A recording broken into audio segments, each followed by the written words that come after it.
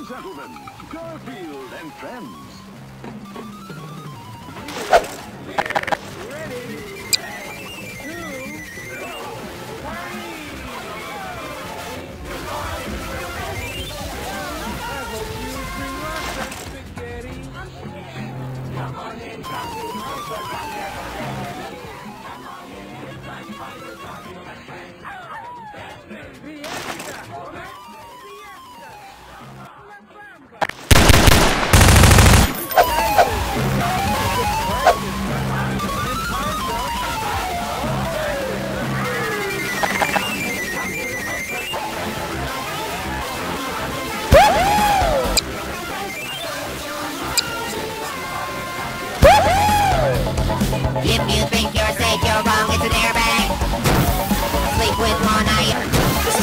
Ridiculous. Not everything can be an airbag.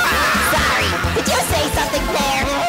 I don't want to get surprised by airbags anymore. Sure thing. There's the exit. Wait, what's happening to me? Why do I feel so? Hey, that class looks kind of like an airbag. Yes, I think